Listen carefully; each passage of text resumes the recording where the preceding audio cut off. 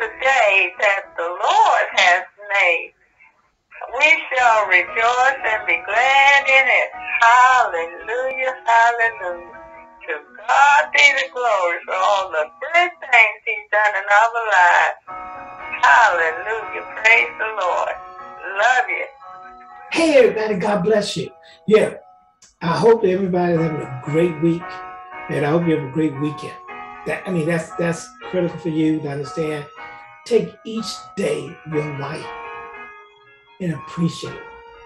I saw a friend today that was talking. The fact is that he had a quadruple uh, bypass, and uh, he said it's amazing when you start looking uh, at life from a different perspective when the possibility that uh, your clock, your time, your point of time is coming towards you. So it's always important to really do give the appreciation uh, of the day that you have. I mean, we all know it's, it's part of life that most people uh, either reach the end of their life at a good old age, uh, 120 there, uh, or of a tragic accident. So it's important for us to appreciate the day. You know, one of the things I, I like to say uh, to my mother, and you see most cases on the beginning of these videos, is that this is the day that the Lord has made. I will rejoice and be glad in it. Hallelujah. You know, because that's that's that's that's critical for you in me to appreciate today and appreciate uh, the. I think a lot of us know that when you get sick, uh, you automatically start you you know you start regretting the depreciation of when you're healthy, uh, and you can can can do things and and not be feeling real bad, right? You know, so appreciate your blessings because those are blessings, and and let's make sure everybody understand it ain't because of you. You can sit there and say it's you because you, uh, but you deceive yourself. Uh, one of the things I wanted to, to, talk about, and then I'll send it out uh, uh as a video, is the truth. The truth will make you free. And the reason I, I wanted to go to the scriptures, you know, because it's a word that makes a difference, not so much what people say. It's the word of God that makes a difference. And I guarantee you that people, uh, there's people who sit there and, and, and write on every word that you say with with intent for finding any faults or, or to uh, to to persecute or prosecute if they can find a way to say that this this saying is, is, is contrary to uh, standard policies and doctrines. But let's with that besides that point. Uh, and, another fact is that there's some things Jesus said that people didn't like. But the truth will make you free. I was talking to, a, you know, and I think I think a lot of cases that a lot of these studies and stuff should be reflective of what's going on in life, right? Uh, and, and, bring those testimonies because we all have to try to figure out how we maneuver in life and, and, and, and walk the Christian walk, right? And one of the things it was this the it was a the the, the, the point where uh, I was talking to a friend of mine who said and he, and he had on his phone uh, uh, his son gave him a, an app that filter in all the different types of new feeds that he likes to listen to. And in this case, all conservative uh, channels from, from, I guess, from Fox News all the way to some very far, far right channels. And, and, and, I, and I asked the question, he said, I listened to them because I asked him, what about these other channels? CBS, NBC, you know, CNN, you know, and he'll sit there and say, I want to listen to the station that will tell the truth that I want to hear. Do you hear what I'm saying? The person was saying, I want to listen to the truth that I want to hear. And if you think about it, is the person, the key piece is the truth. And that's what we're going to talk about in John chapter 8, where the truth will make you free. How many of us have taken the, that word literally truth and and turned it into and, and, and, overlay it with I want to hear the lies. I want to hear lies. I want to hear things that that satisfies my hearing, satisfies my point of view of what I think and how I think, regardless of the fact is that it's not the truth. You know, and I think that's why it's important for us to understand God's word is truth, not us. Because what comes out of us is, is our perception of what we think is reality, our perception of what we think is best for us and not for somebody else. Uh, reality, truth of God. God's word is truth. God's word sustains itself. Where our quote unquote truth will fall against somebody else's truth in the end. Whoever has the most influence and, at the time, their truth will, will override your truth. But in the overall, we know that God's truth will override everybody's truth. And that's what we want to be able to understand. That's why he said that the just shall live by faith. And faith is the substance things hoped for, everything's not, not seen. And the fact is that faith comes by hearing and hearing the word of God.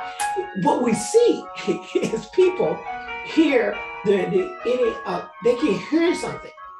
They know it's not of God. They, they know it's not God. But they hear it. And that's what they become or what they are need the need lies and just just you know hate or whatever just to to sustain themselves. You know that's very important too.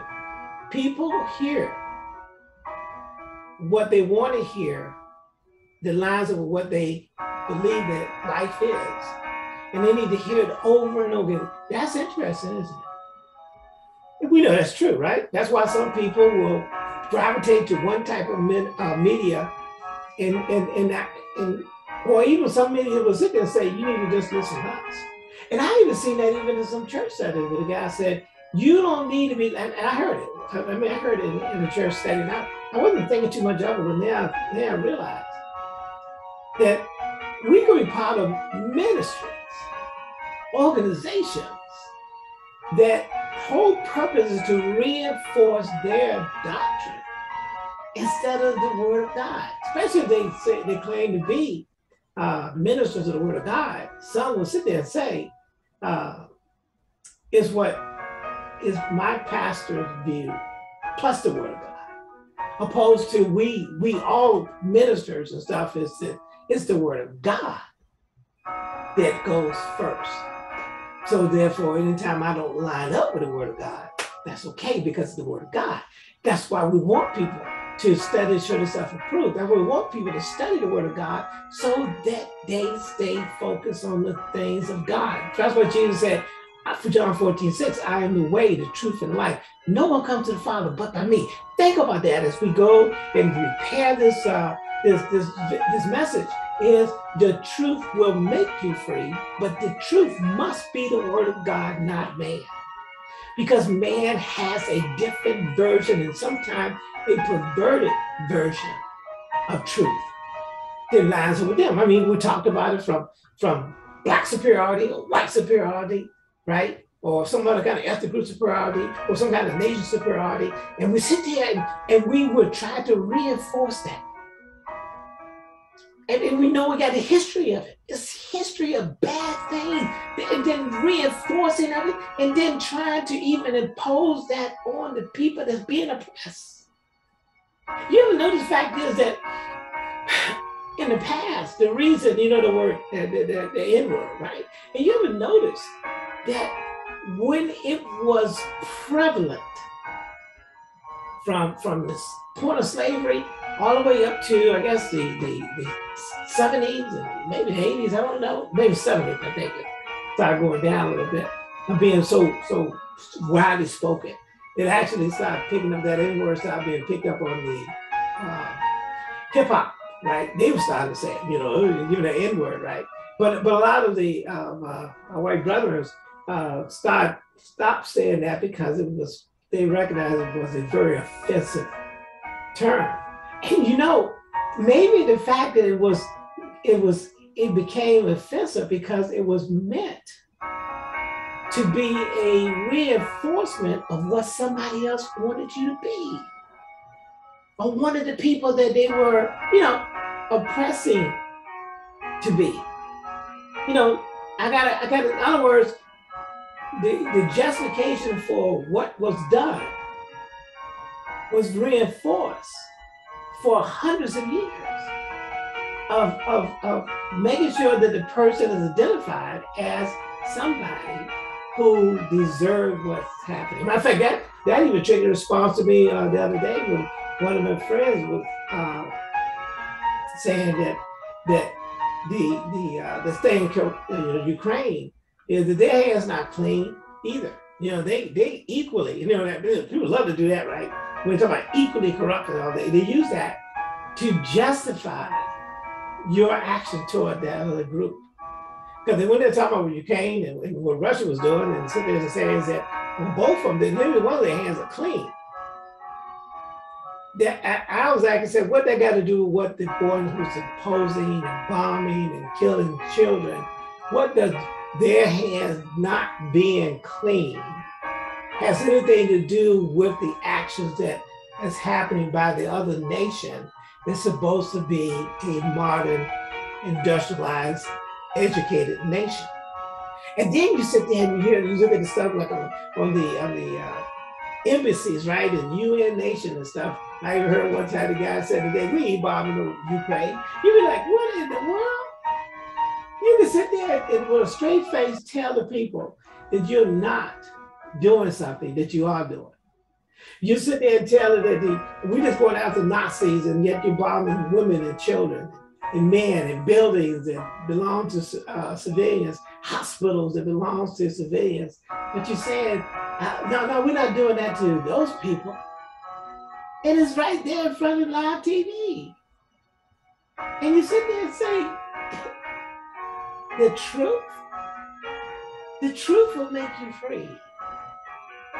That's why I want y'all to know that because some of what we realize now is that when we when people sit there, they have their own version of truth. I think somebody even told me today, they were saying is that if it's a lie, but the person thinks it's a truth, it is a truth. That's interesting. Think about that. If someone believes this, believe a lie as a truth, to them it is the truth. That's why it's so important for ministries, for believers, to base their foundation of truth on the word of God, not on man, because man is a liar. And we got to understand that. You know, even in talking about his children could lie. You, you got to teach them how to lie. They, they learn to lie uh, very early in life, right? You know, you say a little kid go there and find a uh, find a uh, do something, spill something over and say, I mean, we're not gonna down. you know what I mean? So so we we perfected out of line uh, early in life. That's why it's not the words that comes out of other people's mouth that really should be your foundation. Maybe that's what I understand why somebody say, you know, I don't, I don't even like talking about the uh, history or the past or, or the present because it's so depressing. And you know what? I can relate where they're coming from. The fact is, it's the but the truth will make you free, and that's what we want to sit there and get into. So what we'll do, we'll go into this real quick, and then we're gonna let you go. Amen. But I, I want you to, to think about that subject. The truth will make you free, and that's what I want to uh, start off the, the day with is the uh, the scriptures about the truth will make you free. Uh, because